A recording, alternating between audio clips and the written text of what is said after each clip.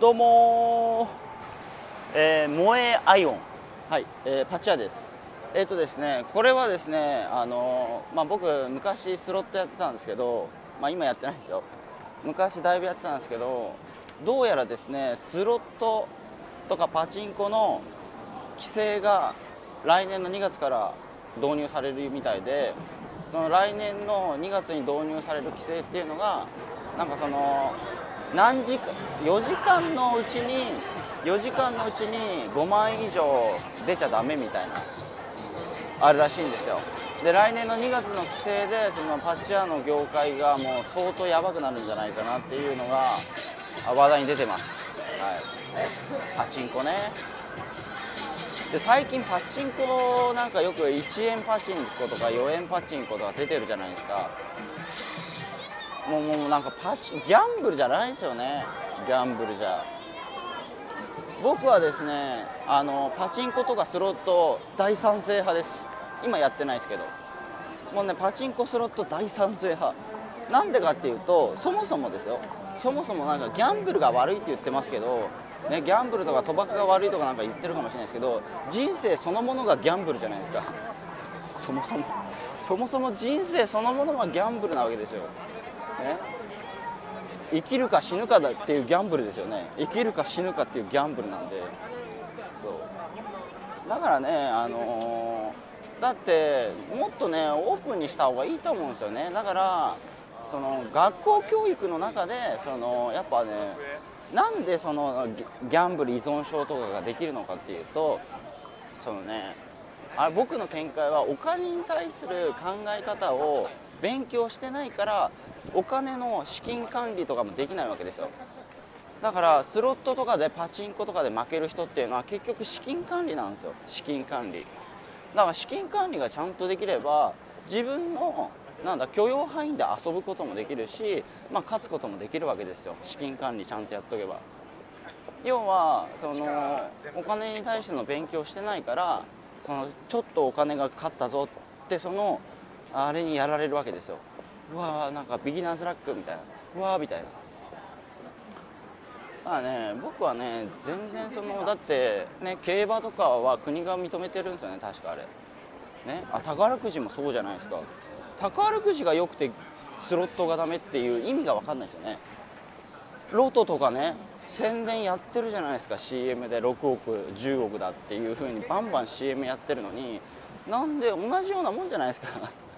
ねそれそれ 紙買うのかコイン買うのかだけじゃないですか。何が違うのって僕は言いたいんですよね。宝くじは OK でほら7億円ってね7億円あそこに宝くじありますけどあれはよくてなんでスロットはダメなのっていうパチンコダメなのって話じゃないですか。大した変わんないですよね。本質は。本質変わらなくないですか？本質。ただそのねき台を打ってんのか打ってないのか紙を買うのか買わないのかっていうだけであって本質は変わらないわけじゃないですか。ね。300円とかの投資で1億当たったらいいなっていう本質じゃないですか。じゃあそのスロットとかパチンコでもじゃあ1万円入れて、え5万円買ったらいいな買ったらいいなみたいな感じなわけじゃないですか。何が違うんだと。いやだからね僕はね思うわけですよ。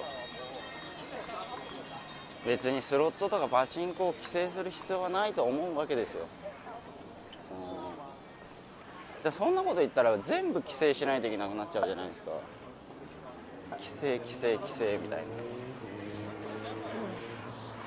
な。だけどカジノ法案がどうのこうのみたいなことも言ってるしどうなんですかね。実際そのラスベガスとかはラスベガスとかあとはマカオとかは、まあ、そのカジノでその、ね、国がこう売り上げを作ってるわけじゃないですか。で潤ってるわけじゃないですか。ね。だかそれはなんかパチンコを規制するよりかは規制でこのやるんじゃなくてその正しいお金の考え方っていうのを勉強させればいいんですよ。勉強。国がそのお金に対しての勉強っていうのをちゃんとこうねやればいいんですよ。数学とか国語とかいろいろなんか勉強ありますけどその勉強をしても社会人になって生きないじゃないですか大した。大したその勉強をね丸暗記して覚えたところで何もあんま使えないですよ正直社会人になって。しかも今 iPhone みたいに出てるわけですから別に検索すればいくらでも情報なんて出てくるわけなんで暗記する必要がもうないんですよ。だから暗記する意味がないですよねもう。だってどれだけ暗記してもパソコンの暗記パソコンの能力に人間は勝てないわけじゃないですか。ね。その無理なことやってもしゃあないんだから今の時代に応じたやっぱそのなんかやり方っていうのをやっていかないとダメだと思うんですよね。だったらあの暗記する勉強から使う勉強。暗記する勉強から使う勉強ですよ。要はデバイスを使う勉強。これをどう使って使いこなしていけばいいのかとか勉強。要はあるんだから。ね絶対あるんだから。そういうふうな勉強方法に変えていかないとダメだと思いますよね。あとはそのまあもちろんねあの今の学校の教育がその奴隷を作るために作った方針だからしょうがないですけどね。服従させるような感じの人たちをこう作っていくっていうね。だから結構ね成功してる人たちとか僕もそうなんですけど社会不適合者なんですよ完全なる。要はその学校教育に当てはまらなかった人が結構ねなんか成功してる。まあ僕が成功してるとは言わないですけどその社会の枠にはまらない、まあ、そもそも僕はあの学校の勉強してる時にこれなんでこれ数学とかこう勉強して社会人になって使うっていう疑問を中学校の時に持ちましたからね。中学校の時に。これ使うのみたいな。勉強してこれ使うのみたいな。例えばまあ今まあグローバルの世界になってるんであれですけど中学校の時僕英語英語勉強した時になんで日本人なのに英語勉強せんとあかんねんと思っちゃいましたからね。日本人なんだから別に日本人とコミュニケーションするから別にいいえやんと。英語なんで勉強すんねんと。いや外国の人が英語勉強すればええじゃんみたいなね。自分勝手ですけど。いやでもそうじゃないですか。なんで日本人が英語勉強しないといけないのか外人の人が日本語勉強すればいいじゃないですかって話じゃないですか。どっちでもいいですよね。どっちでも。